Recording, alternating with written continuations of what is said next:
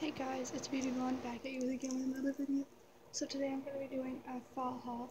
So a denim jacket is good for fall. Blacks are good. Grays are good. So I have gray sweatpants with this shirt on.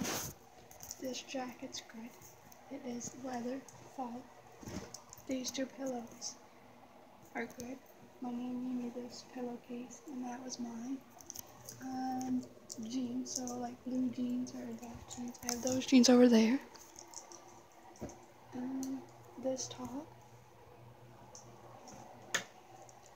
this top, this tank top, this top, this dress, this color is too, yellows, this top, this top I wore yesterday but it's still denim, denim dress. This dress. And greens. And also my shoes. There. Sneakers and shoes.